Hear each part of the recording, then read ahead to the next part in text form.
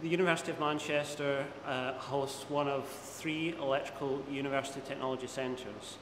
University technology centres are a way of focusing research within a unit in a university with a renowned expertise in a particular subject field. And here at the University of Manchester, we have an excellent uh, power conversion group, electrical power conversion group, where we have focused a branch of research under the UTC entitled Electrical Systems for Extreme Environments. The University of Manchester, as I say, has a, uh, a renowned reputation in this particular field.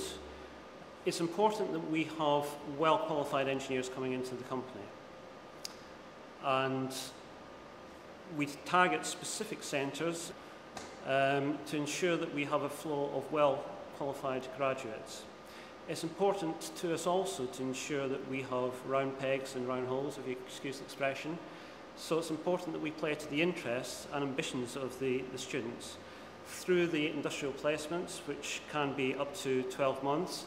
Um, students who come to work with us have a couple of years of grounding uh, within their chosen field um, they come into the company, we would typically have a major program for, for them to work on during that period of time where they're making a genuine contribution to the company. A very interesting project last year, we had a, a student working on electrical mechanical interactions. There can be breakages caused by unfavourable electrical mechanical interactions, and that's clearly something that we want to ensure that we are avoiding so that whatever system it is, whether it's in the aerospace domain, marine domain or the energy domain, is safe and will operate for its design lifetime. And a, a Manchester student came in and did uh, an excellent job of research in that particular area.